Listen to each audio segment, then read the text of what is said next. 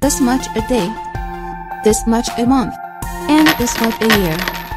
Please remember that this is an estimate. Only the YouTuber himself or herself knows exactly how much he or she makes. Thank you for watching.